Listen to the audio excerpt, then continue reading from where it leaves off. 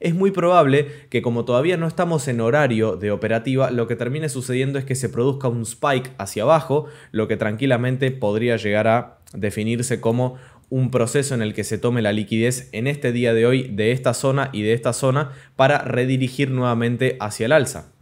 O sea que básicamente lo que está haciendo está tomando ganancias y va a proceder a atrapar en el futuro de este día o del día siguiente lo que sería la liquidez tanto alcista y bajista de los inversores en corto plazo. Ah.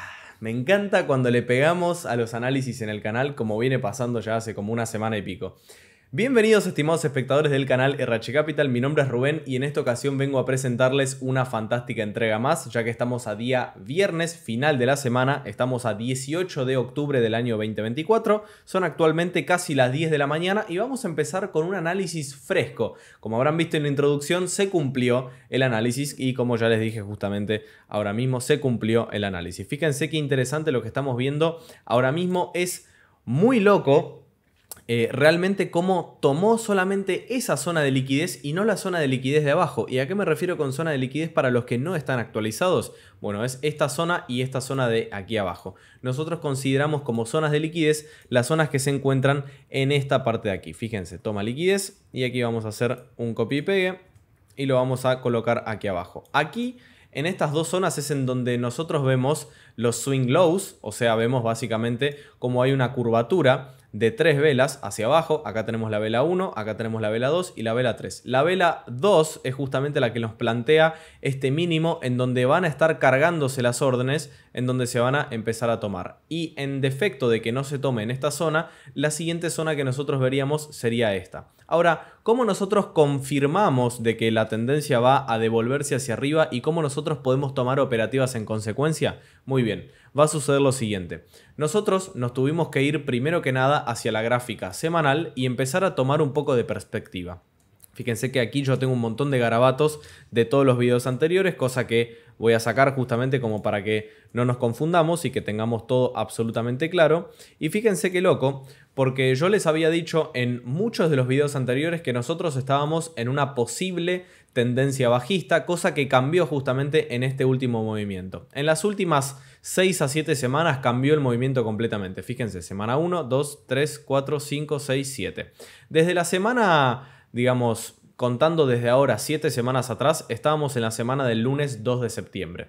Fíjense que las siguientes velas fueron, fueron completamente alcistas, lo que nos hizo una categoría alcista, por lo menos en lo que es eh, con respecto a la semana del 19 de agosto. ¿Por qué es esto? Porque hicimos un quiebre de estructura, esta es la última vela más alta después de las siguientes dos velas bajistas que terminan eh, desembocando en el lunes 2 de septiembre, o sea, esa semana desde la que empezamos a contar, y siete semanas en adelante se produce este quiebre por encima de este máximo. Cuando ya a nosotros se nos da este quiebre hacia arriba, nosotros ya tenemos como conjetura de que Bitcoin se va a ir hacia arriba. Y tomamos esto como consideración a ciegas porque es lo único que nosotros tenemos como para poder empezar a ver si Bitcoin tiene ganas o no de irse hacia arriba. Y qué mejor confirmación que teniendo un precio por encima del valor del máximo anterior.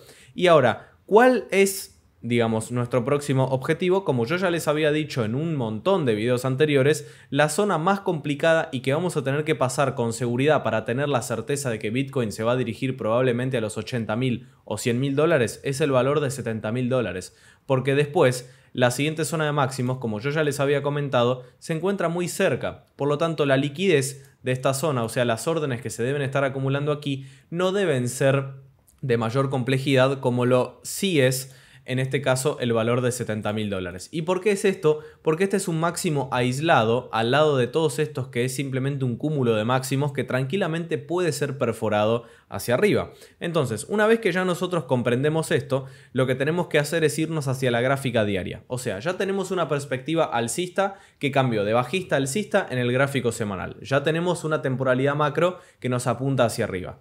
Eso quiero que quede claro.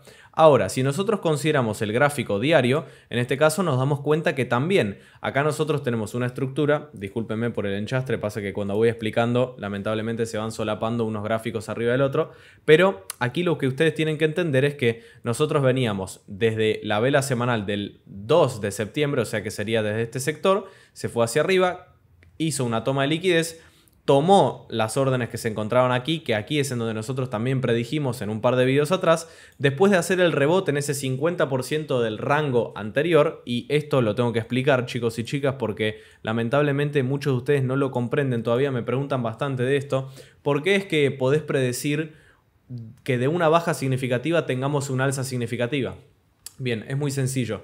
Ustedes entenderán, chicos, que cada vez que nosotros tomamos una operativa, por ejemplo, alcista o bajista, nosotros tenemos que tomar en consideración ciertos factores. Como yo ya les había mostrado, en el gráfico semanal teníamos una tendencia alcista, pero teníamos los máximos históricos del 2021 que se estaban cruzando justamente ahí y por eso estábamos teniendo esa absorción de liquidez. Por eso es que yo consideraba que Bitcoin se iba a ir hacia abajo si no lograba quebrar el valor que yo les dije que recién tendría que estar quebrando como para poder entender que se va a ir hacia arriba. ¿Ok? Ahora, esto es importante. Cada vez que nosotros tenemos una alza significativa, vamos a tener un máximo anterior en condiciones normales donde se va a tomar liquidez y va a proceder a bajar. Cada vez que baja, va a tener una zona en donde va a tender a quebrar eh, y va a tender a irse hacia arriba nuevamente porque ahí van a estar las instituciones que van a estar tomando las órdenes en el mercado para revertir el precio nuevamente hacia arriba. ¿Se entiende? Entonces, eso es justamente lo que nosotros estábamos viendo en la gráfica de Bitcoin. Fíjense qué interesante. Cada vez que subía, tomaba liquidez, se iba hacia abajo, de nuevo se iba hacia abajo, tomaba la liquidez en el order block, o sea, en el bloque de órdenes a nivel diario, porque aquí esta es una vela eh, contraria a un movimiento fuerte, ¿se entiende? Aquí se acumulan muchas de las órdenes y nos encontramos justamente en el 50% del rango inicial este, que se nos es presentado. ¿ok? Entonces, en este caso, tenemos un rebote en esta zona, en el order block diario, y se va directamente hacia arriba. Aquí ya quiebra la estructura y aquí también. Por eso es que yo considero que el valor de 70 mil dólares es clave, porque ya estamos en una tendencia alcista. Entonces, lo más importante aquí es entender que logra quebrar los 70 mil dólares y se comporta también de esta manera, de irse hacia arriba, ya está ya estamos hechos para la siguiente oleada alcista, ¿se entiende? Eso, eso es algo que yo ya les vengo diciendo hace un montón.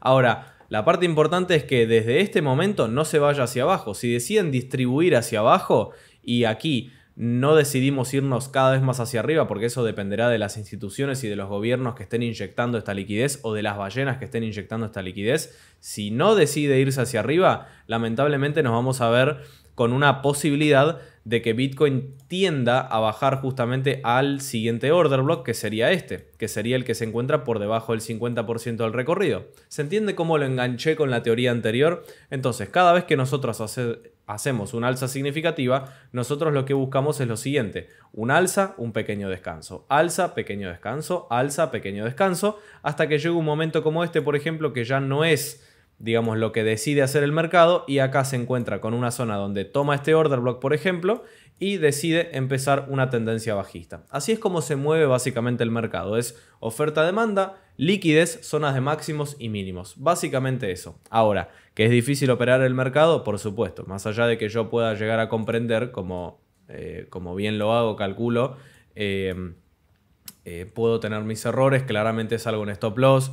O sea, es algo que es una realidad y es así, más allá de uno entender el mercado a la perfección. Todas las estrategias tienen una tasa de riesgo. Hasta ahí todo claro. Muy bien. Entonces, entendemos que desde el semanal tenemos un alza potente detrás de todo el movimiento del mercado.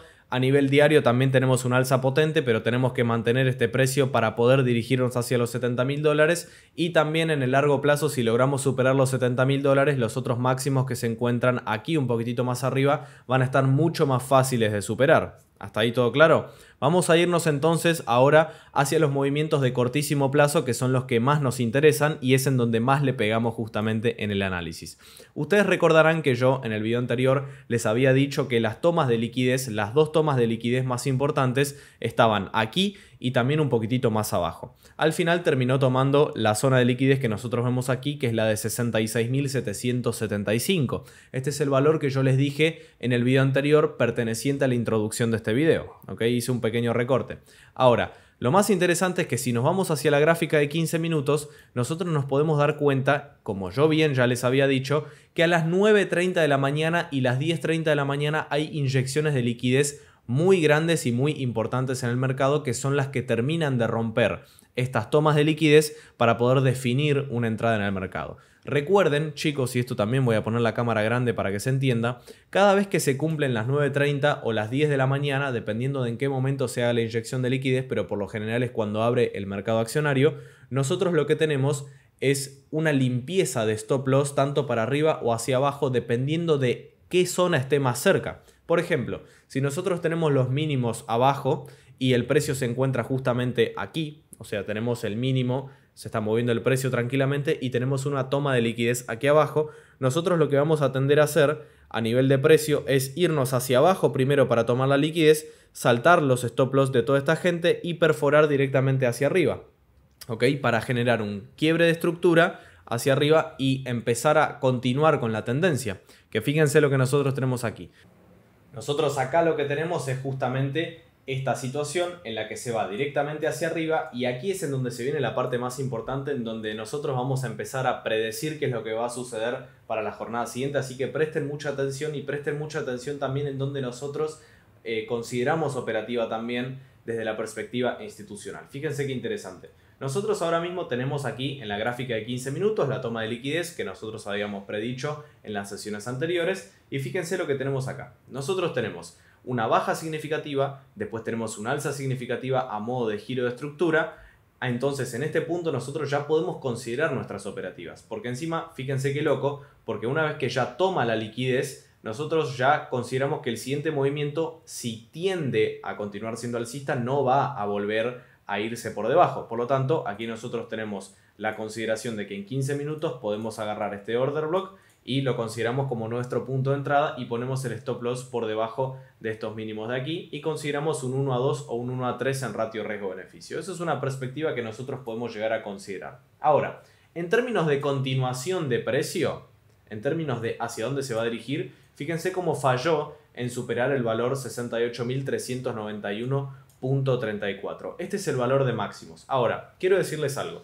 Nosotros en estos tipos de máximos, que encima este máximo, fíjense, recuerden este rectángulo verde y este rectángulo rojo, si yo lo paso hacia la gráfica diaria, fíjense cómo es exactamente lo mismo que yo les marqué.